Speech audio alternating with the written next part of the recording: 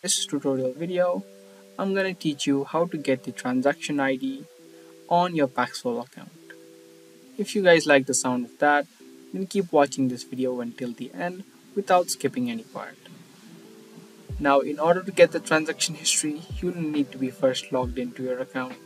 And from the home screen, you can click on this arrow and then head over to trade history.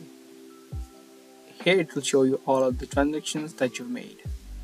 Now in order to export or get the transaction ID of a particular trade, you need to click on this arrow on a particular trade and then click on export. Now it will give you a few file types to download the file. After you choose the file type, you can click on download on the top.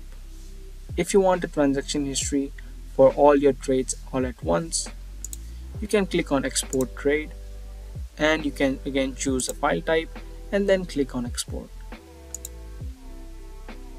That's how easily you can get the transaction ID or the transaction history of your Paxful account. Now if you guys enjoyed this video, make sure to give this video a thumbs up. That's going to be all for today. Thanks for watching.